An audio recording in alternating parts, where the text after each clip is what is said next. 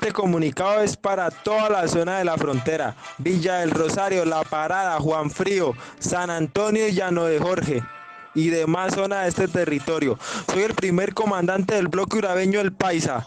Para todo aquel hijo de puta sapo informante de la guerrilla que llegaron en esa parte de la zona de frontera, joder, que este es nuestro territorio, que aquí llegamos paramilitares y regresamos a retomar todo esto. Ya tenemos a todo el mundo ubicado, nadie se nos va a salvar. No quiero ver a nadie en las trochas, tampoco quiero ver ni a los taxis ni a los mototaxis trabajando. No quiero ver tampoco los comercios abiertos, carnicerías, casas de cambio. Todo para todo aquel. Todo el mundo tiene que copiar en esta mierda. Esto lo que pasó hoy no es nada para lo que viene. Así que esos famosos carteludos, los canelos y todas esas pandillitas de mariquitos que hay por ahí, que bueno, o se abren para hijo de puta o se arreglan, porque aquí se van a morir. Llegó la hora cero. No queremos que caiga gente inocente. Así que le pedimos a la población que nos colaboren con esto.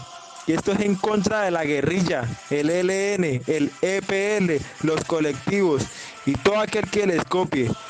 Y empezó fue la guerra y a sangre y fuego nos estamos tomando toda la frontera por la paz y el trabajo de estos pueblos hermanos. Así que todo aquel que hemos llegado, que no quiere copiar, que no las ha creído, bueno, que haga caso porque aquí venimos matando, aquí venimos bombardeando a todo aquel que no las crea. Y es mejor que copien, porque así como hoy me fui con el, mi segundo comandante Caregato y bombardeamos allá en la parada, así mismo voy a recuperar toda la zona con bombas. Esto va para la guerrilla, para que vea que la vaina es en serio, con Orrea y puta, se van a morir. Esto también va para todo aquel que no nos quiera hacer caso. Van a ser objetivo militar de nuestra organización. Esperamos que hagan llegar este comunicado a toda la población, que los paramilitares estamos presentes.